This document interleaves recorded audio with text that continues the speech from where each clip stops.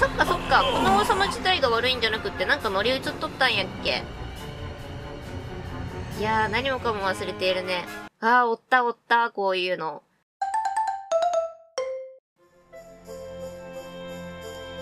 ほいということで、今回もやっていきたいと思います。今回もっていうか、今回から？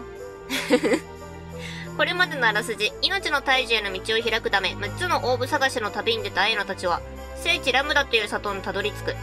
聖地ラムダの長老、ファナードに迎えられた一行は、命の大樹と勇者の伝承にまつわる神話について話を聞くことになる。ちょっと待って、自分で読み上げよったら全然内容が入ってこんな頭に。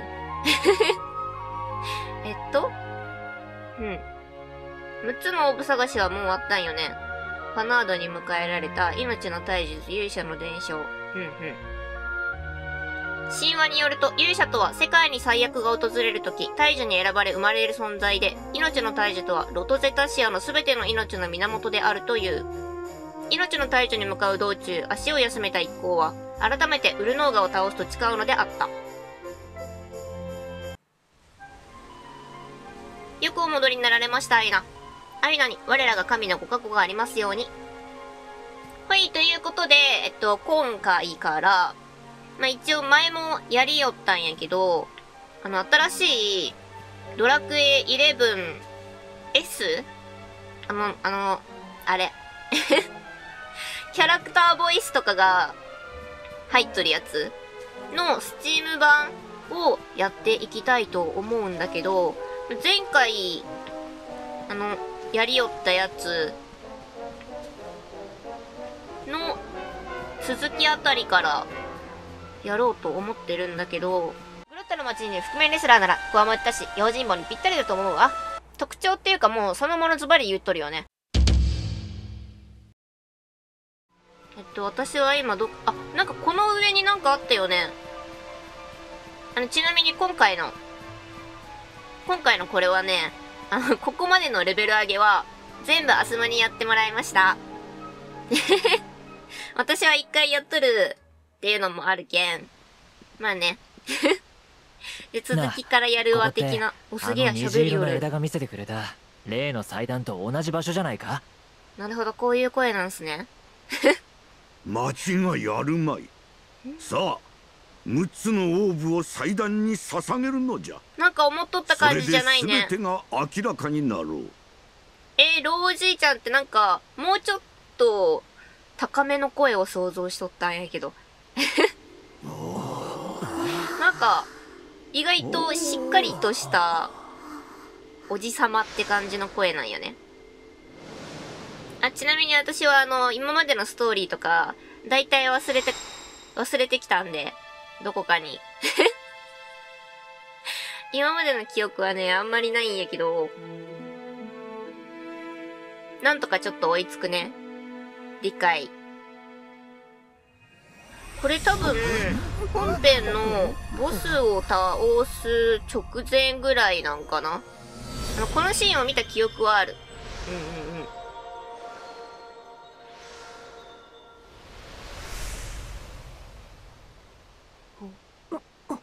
うんうん。これで、そのなんか、ボスのところまでの道ができたってことよね。あ空に浮かんどんやっけ？めちゃくちゃ遠い道のり。あれが大樹やね。これは西の橋なんてまばゆいのでしょうセイにはもうちょっと大人っぽい声を想像しとったな。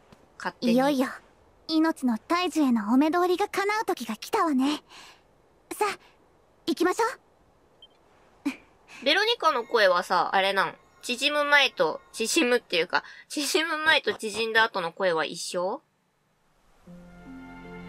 マジで私こっちになってから、最初からここまでをすべて遊ぶにやってもらってきて何も知らんねよね。ちょ、動かし方とかもね、探り探りで行くね。どこに行けばいいんかな？とりあえずなんかここに、マークが。あれよね、あの、私、あの、あの子？あの透明の子？あの子がずっと触りたかったんやけどさ、結局触れんかったような気がするよね。あれは、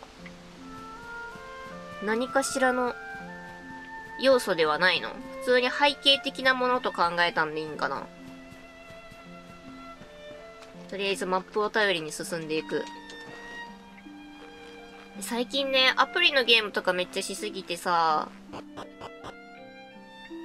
この、次に何をするっていうの、アプリの RPG とか横に出とるやんか。それがないのがすごい心もとないんですが、ね。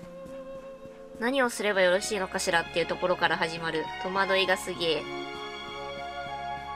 探り探りやっていきまーす。これ、あれじゃない？みんな吹っ飛ばされるやつじゃない？いいことは起こらんかったよね。これ、みんながバラバラになる前ってことやろ？多分。多分ばっかり。自分の記憶をちょっと探り探り、そこも。なんという大きさなのかしら？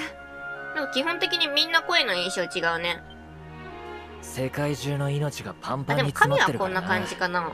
これぐらいでかくないと収まらないんだろうこうしてそばで見ているとちょっぴり怖いわねなんだか飲み込まれちゃいそううん、シルビアもこんな感じな気がする。うん。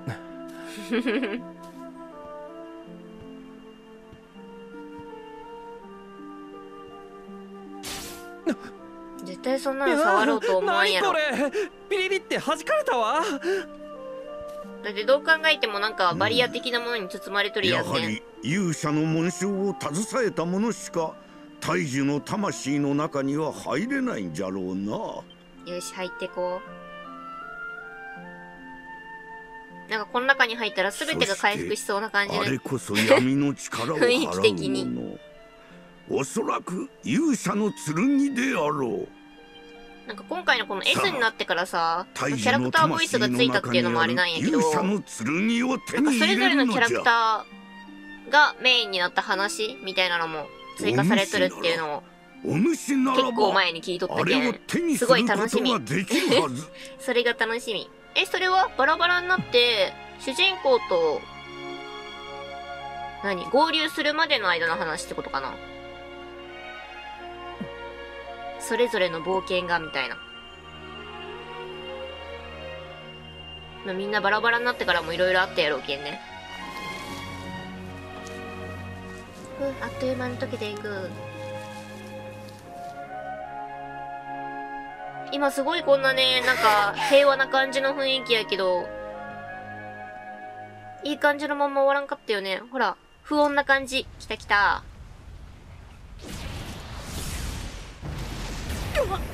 あ、そっか、あれ自体がっていうわけじゃなくって、敵が後ろからやってきたんやったっけ？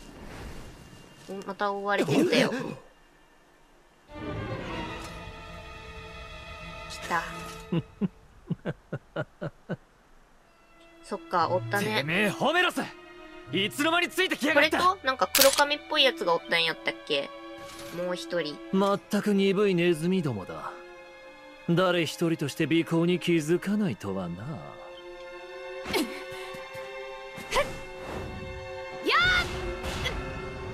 絵の綺麗さとかも違うんかな？今のは？前の動画とか見返してないけん、いまいち比較ができんねんけど。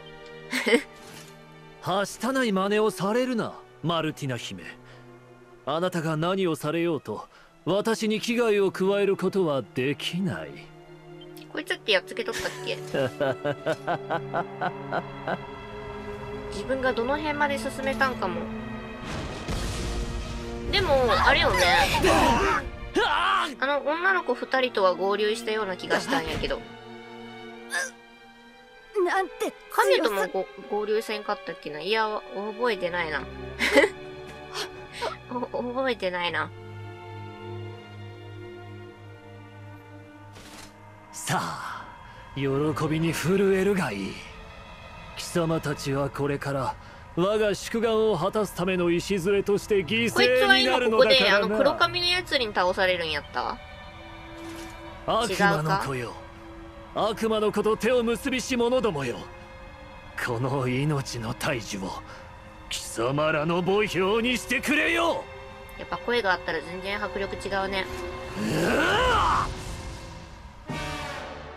あここで果てるがいい戦闘か戦闘に突入するのか。油断は禁物よ。ホメロスのあの力一体何がこんなセリフ前入っとった？入ってなかったと思う。すごいレベル99やって。超一言えこれはカンストしてるってことよね。マジで？すごい。これせい！これ以上ないってことやろ？みんな99で揃っとるってことは。誰の攻撃も当たらんやんやっぱこれはストーリー上のものってことよね。ドルモーは我が力に震えよ。一気に。強すぎじゃない？あのストーリー的なものっていうのは分かっとるけど強すぎじゃない？黒いオーラのせいでちっとも歯が立たねうわ。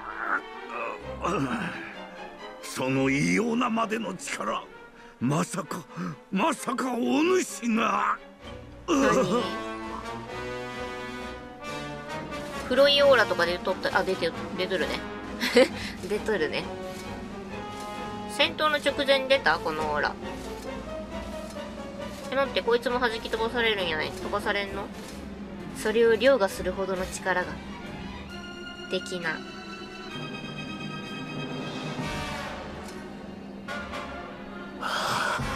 開いてしまう。えこれが大樹の魂か。これさえあれば世界をどうすることも思いのまま。この大樹がさ世界中の命みたいなんよってやんあらすじのところで。うん？これが枯れたらみんな死ぬんやっけ？あ黒髪じゃなかった。全然黒髪じゃなかった。紫やった。見ていましたか。しかも明るめ今のの戦いをホメロスの力こそ闇の力。私たちは随分長い間この王様悪いやつやった大きな勘違いをしていたのかもしれません。ホメロスこそ。この大地に仇をなす者私黒髪のやつって誰と間違えとんやろう。でも多分ドラクエのキャラクターやったと思うんやけど。ホメロス何故に魂を魔に染めた？なんかこれと同じようなキャラクターで黒髪のキャラクターってなんかなかった今までホメロスよ。王の御前で成敗してくれる。でグレイグがやられるんだ。違う。おほら。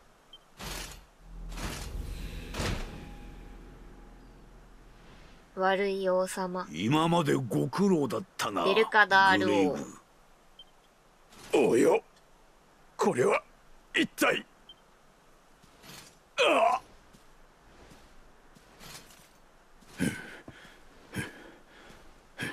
なんか黒いオーラめちゃくちゃ増してる気がする。おお怖い怖い怖い。あそっかそっか。この王様自体が悪いんじゃなくってなんか乗り移っとったんやっけ？いや何もかも忘れているね。あーおったおったこういうの。おったおった。なんかドラゴンボールに出てきそうな感じ。そしてホメロス。よくぞ勇者を仕留めてくれた。あもう全く声変わるんやね。使わそう。おおなんとありがたきお言葉。ここは乗り移られとんじゃなくって操られとんか。我が主君ウルノーガ様これやウルノーが最初に出てきた名前。再び倒す的なこと言ったよね。一回倒したっけ？まさか途中で倒したんかな？取り付いていたでパワーアッうん。プ起きろ勇者よ。起きろ今こそ我が手中に落ちる時その力いただくぞ。はあこれでどうやって逃れていくんやっけ？もうそのまんま力を失って地上に落とされるんか。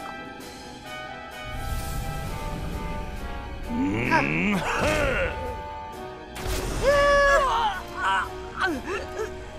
体に穴が開きそうてか開いてる。確実にあれ刺さっとるよね。うわすごい杖についてる玉の疾患がすごいよ玉の疾患が。あ紋章がこれが勇者の力。何あれ心臓抜か れ抜かれたわけじゃないよね。これさえあれば。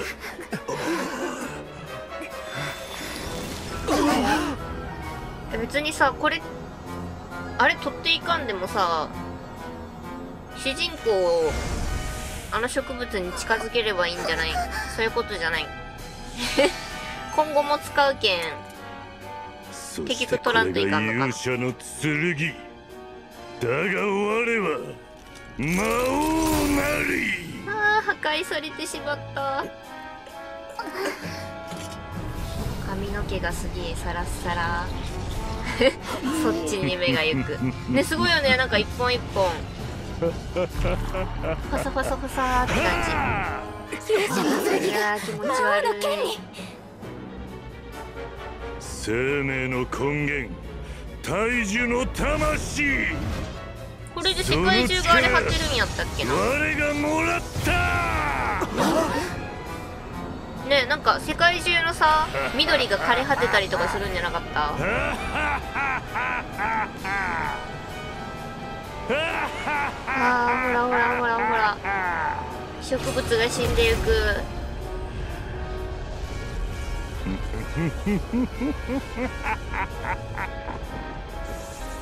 てかこれは一体どれぐらいの間の出来事になるの？次その主人公が。地上に落とされた時には。もうみんな結構すでに順応してる感あったことない？世界が月ぐらい経っとったんかなあー落ちていくうわー山まで